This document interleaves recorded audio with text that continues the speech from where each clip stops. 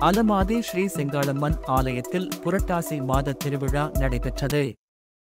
மாதவரம் தொகுதி அலமாதி ஊராட்சியில் அமைந்துள்ள ஸ்ரீ செங்காளம்மன் ஆலயத்தில் பத்தாம் ஆண்டு புரட்டாசி மாத இரண்டாம் வார திருவிழா ஆலய ஸ்தாபகர் சக்தி சரவணன் தலைமையில் வெகு சிறப்பாக நடைபெற்றது.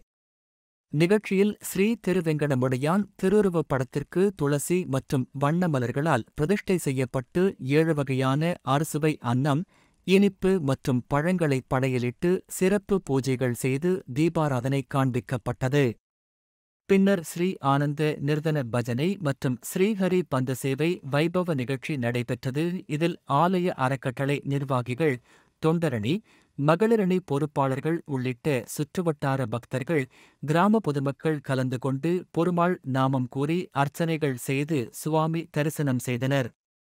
முடிவில் ஆலயம் சார்பில் ஏழு வகையான அறுசுவை அன்னதானத்தை பக்தர்களுக்கு வழங்கினர்.